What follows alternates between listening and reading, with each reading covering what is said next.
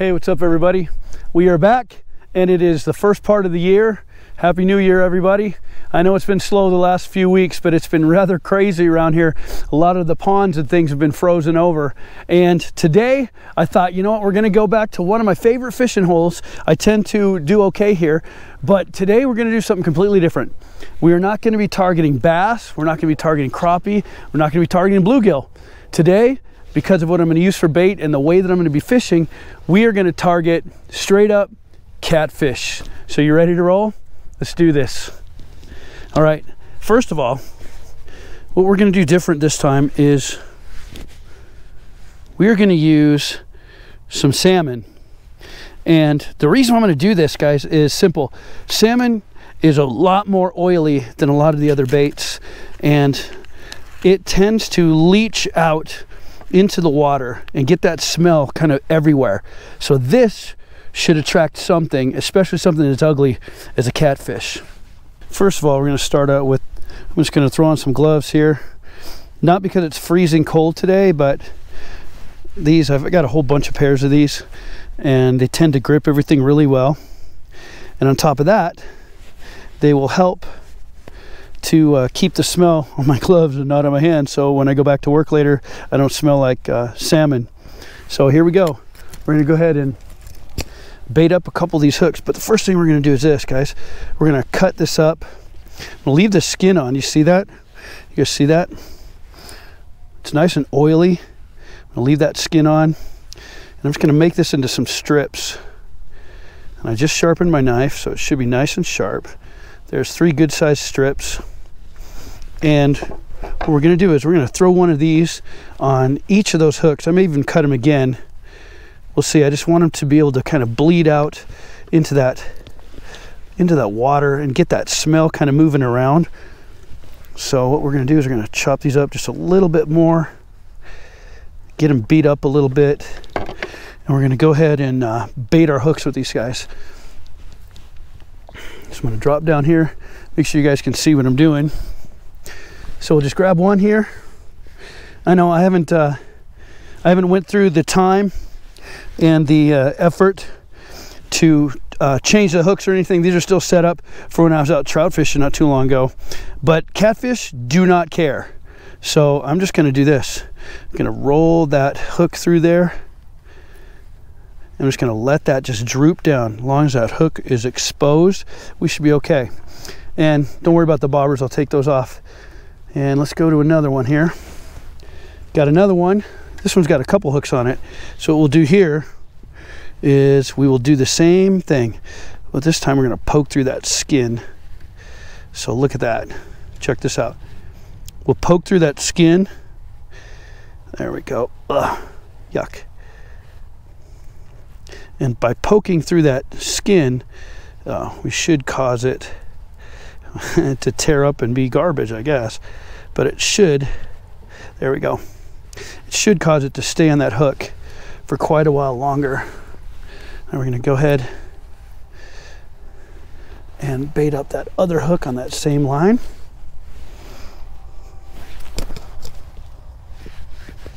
Bait up this other hook. This one will do a little different.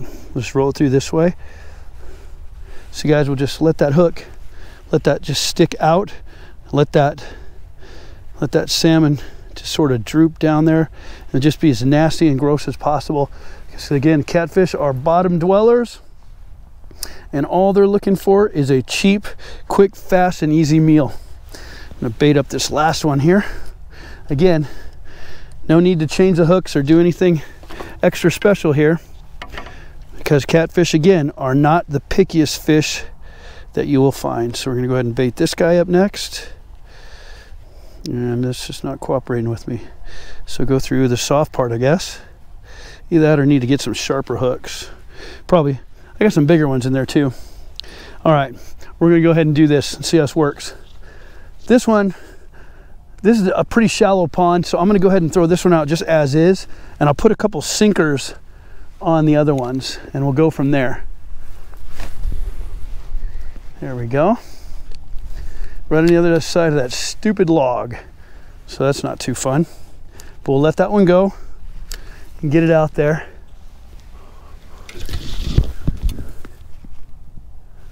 I'll see if I can get these other ones in a little bit better spot. So let's see what happens here. Bing. Okay, let's bring it back in. I know you can't really see where that went, but you will hear shortly. Maybe on one of my other, maybe on my chest camera you can see it a little better. Let that one sit. And then this last guy, shoo, what a mess. Got a little excited here. I'll edit this part out so it won't be so unfun to watch. All right. So this now in just a hair different spot. There we go. Let that one sit right over there. See, they're all kind of in the same area. Now what we're gonna do is we're gonna take just a minute and let those things kind of have a minute to bobble around out there. After all, they are bobbers, right? Let those sit. And um, I think I'll answer a couple questions. I've had a couple subscribers ask a few things about me and and kind of what's going on here. And so to answer a few questions, one is this: Do I have any other interests? Yeah, I'm actually uh, I got a lot going on in my life. I'm uh, the pastor of a church and I've got a wife and two daughters. My daughters are in their early 20s, and um, sorry, I just thought I saw a bobber go down, but I guess not. Got a little excited there.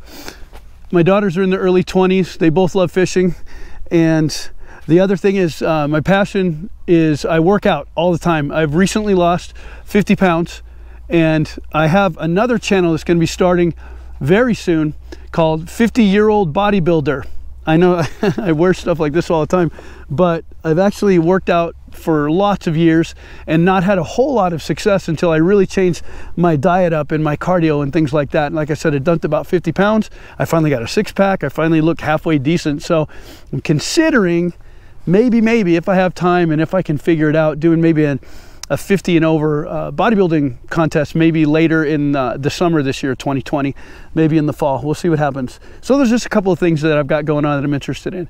So back to the fishing. Here we go. Okay okay guys. All right i got something here. Got something. And i think we are on. Oh it's pulling. It's pulling. All right check this out. Oh let's see if we can get her up oh come on now Come on now, get up here, get up here, get up here. He doesn't want to come out of that ice. Come on out of that ice, come on. Oh, there we go, okay.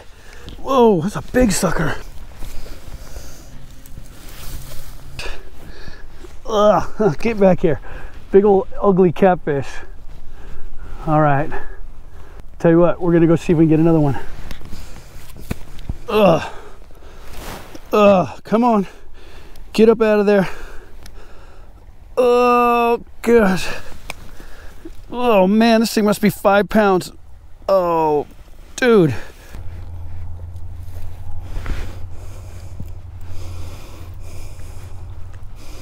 Oh, man. Another monster. Look at these things. Holy cow. Let me bring this up so you can see it. Oh, another one, man. That's two. Well, folks, to quote my friend Charlie from Charlie Breaks Stuff, you know what happens now. We're gonna go ahead and fillet these out. I'm not too worried about them. I've already gutted them, saved you all the gross stuff. You don't have to see any of that, but I've already done that part. So all we're gonna do is a really rough fillet job. We're not gonna do anything crazy.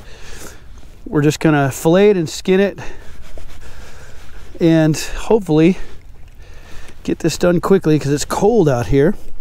Again, nothing crazy. Just a simple, simple fillet job. So for those of you watching at home and you're a little squeamish, I apologize ahead of time.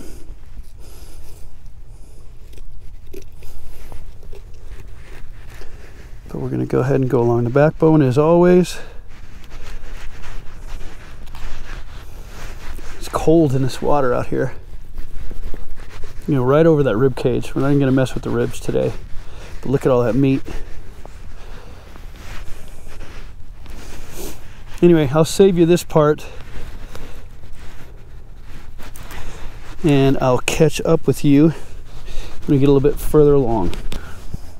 You see that? But get right on that skin. Hold on to it with your finger. Let your knife do the work.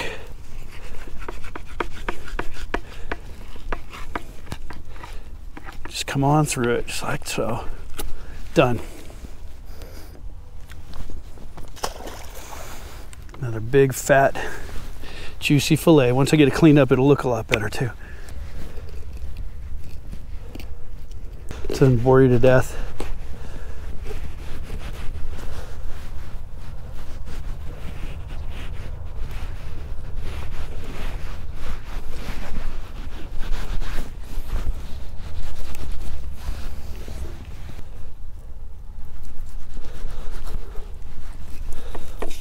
There we go.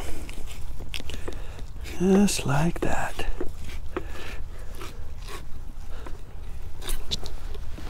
Another big fillet. Come back through here.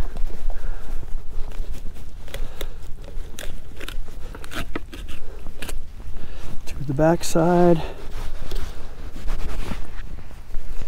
And because I'm not messing with it too much today because it's so cold, that one will go right back in the water.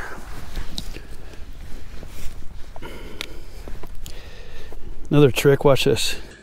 You take a little piece here, cut it off. I like to eat that, but what are you gonna do? And put a little hole in the skin, like so. And that little hole, see that hole right there? Watch. Gives you something to, well, if it was a little bit bigger, that hole right there gives you something to hold on to. Little trick. Dad taught me that one years ago. Oop, still so slippery. And through. And what we'll do, we'll do our best at least start to clean up these fillets a little bit. Now they're a little not the best. And when it's freezing in the middle of winter and your hands are cold, you do what you can do. So anybody out there that can do it better, and I'm sure there's a lot of you, because I can do it better, just uh, hold your tongue. Just trying to make a quick snack here.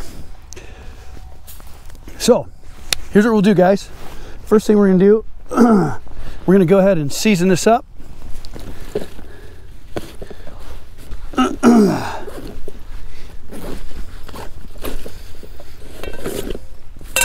I think we'll do a little salt and pepper. So we'll start with this. We'll start with some cracked pepper.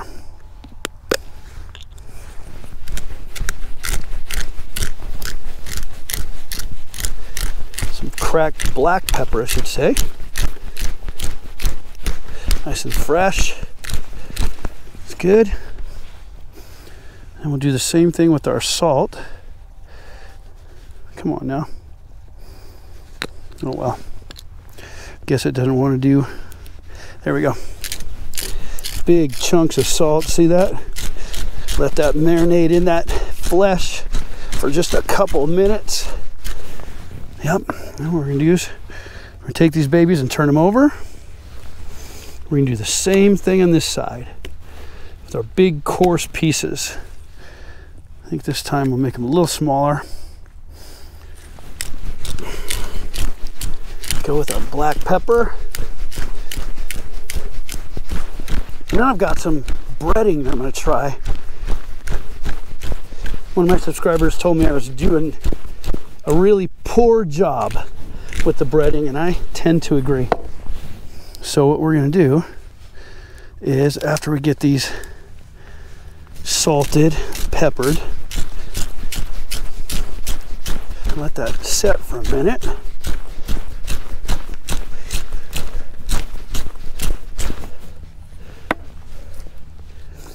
Here's what we'll do. Put our salt and our pepper back in the container.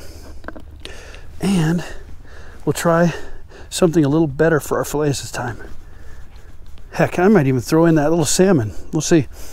Uh, let's move. Let's keep moving here.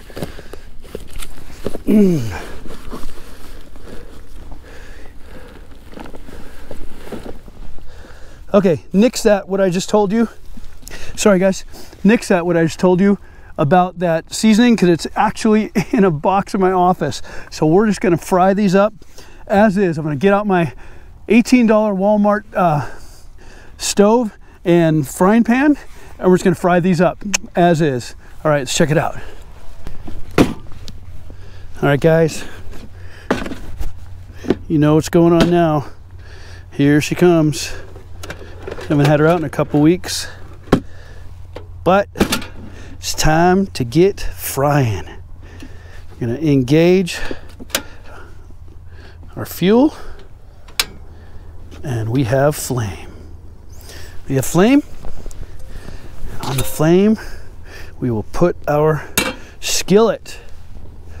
Now what we're gonna do guys, we are gonna go ahead and drop some oil in here and we're going to get it hot. At least I hope we're going to get it hot. As long as everything works out right, we'll get her hot.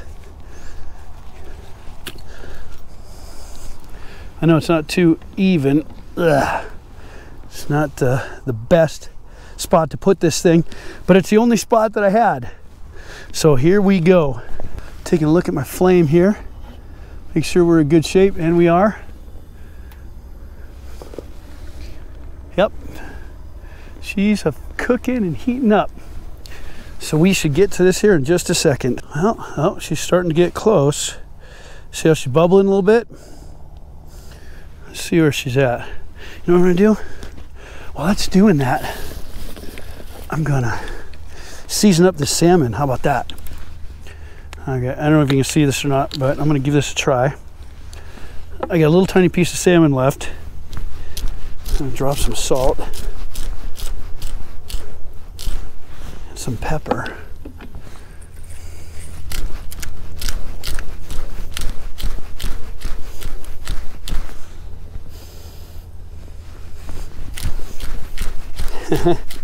Leave that skin on because the skin's fatty and good. Oh, it tastes so good. Man, uh, that, that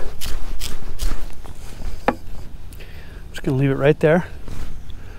Okay. We'll put our salt and pepper away. Tell you what, that oil is hot.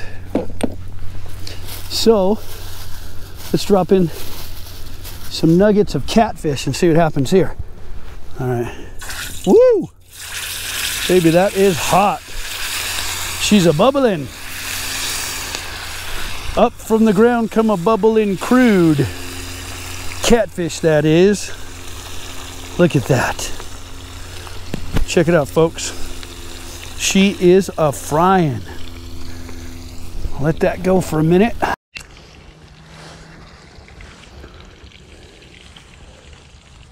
Okay, I ran up to the car, grabbed a couple of things. Just gonna check, see how these are doing. Looking good. Looking real good. Some thicker ones are going to take a few minutes. Oh yeah. Coming along. Can't wait to try it. It's looking good.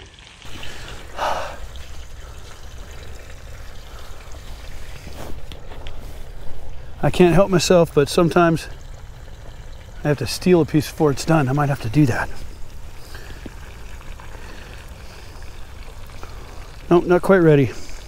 Otherwise it would flake off like that. if you can see that or not. When it starts to flake off and turn that nice white, that's when you know it's, well, either ready or real close. Man, that's fresh. Had to take a little taste. So we'll let this batch continue to cook. And while that's on there, cooking, I'll continue with what I was telling you earlier. So anyway, I'll be 51 this year, and I'm in my 50th year, I lost 50 pounds. and I went from, I guess it was right around 242 to about 192, 197, which may sound like a lot to some of you, but um, well, let's put it this way: when the weather changes, um, I won't have as much on. You'll see that, the, you know, that number isn't a big deal. It looks pretty good. So, anyway, really considering joining some sort of a either a league or some type of a competition for 50 and over. Sometimes it's called the Masters category for amateur bodybuilding because um, I've worked really hard. I've worked really hard for a long time, so I'm excited to see how that works. Again, that channel hopefully will be up in the next few weeks, um, and I'll, I'll, put a link to it uh, in the description in my videos as we go forward once it's up. And it's gonna be called 50 Year Old Bodybuilder. I know there's other ones out there with the same name, but there's lots of channels with the same name. This one's called It's Fishy. Why? Because every time I go to a lake or a stream or the ocean or a pond or anything, I always look at it and go, I wonder if it's fishy, which is not something I made up. I got it from a guy uh, on a YouTube channel called Fisherman's Life. And every time he went somewhere, he goes, I wonder if it's fishy or it looks fishy to me. And the implication is there must be fish there. And I just picked it up and I started saying it all the time. And I thought, that's the greatest thing ever. So um, that's not really my invention. I, I got it from another guy at a different channel. And again, his channel is called Fisherman's Life. And I'll put a link in the description of uh, the video below. His name is Mats. He's a fantastic ocean fisherman. Love him. Love his videos. So anyway, I'll uh, put that on there for you to check out. Anyway, back to this. Hopefully you should be done here real quick. Because I am hungry and fish is on the menu. I feel like uh, in that movie Finding Nemo, where that big uh, shark goes, We're having fish tonight. I just got to steal just a little tiny bite before we do our official taste test. Just to see if it passed muster.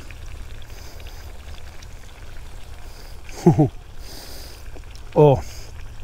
That is incredibly good. But again, we'll do our official taste test here in just a minute. So I'm to go ahead and switch this off. All right, folks, while that salmon is fishing up, finishing up, I'm to flip it one last time, get that skin more caramelized. While that's finishing up, we're to go ahead and do some taste tests here. I've got uh, got this flaky, beautiful chunks of uh, catfish. Check this out, guys. If you can see it. that looks good. Tastes good, I know that. But let's give it a whirl, see how she tastes.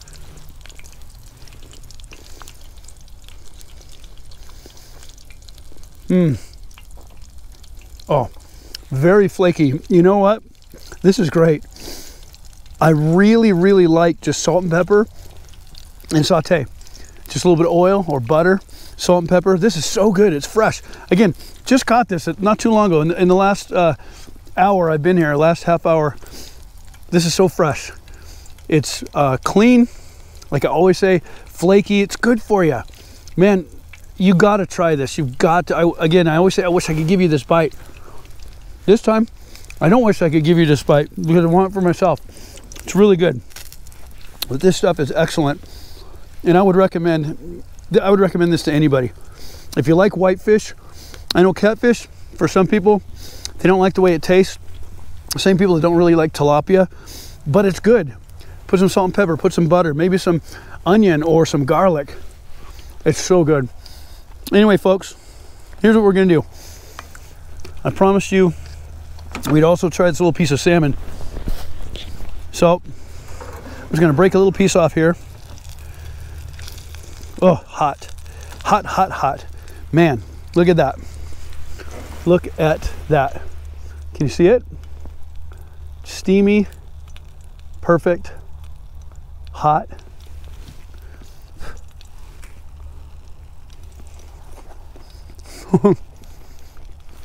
that mm, is a game fish. This is not an official salmon taste test. I'm going to do a video on that as well. I actually, as much as I love salmon, I like the catfish. I like whitefish a lot. Anyway, guys, the salmon is good. The catfish is good. I'm gonna go ahead and eat another couple chunks of this. And then what I'm gonna do is I'm gonna wrap this up, take it home to my daughters, see if they like it. I'm sure they will. And I will catch you next time. Have a great beginning to your new year. See you later. Love this.